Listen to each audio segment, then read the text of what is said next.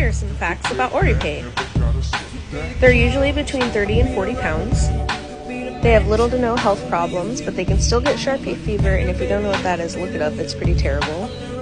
They have a pretty chill temperament, so their ideal walk is 30 minutes or less.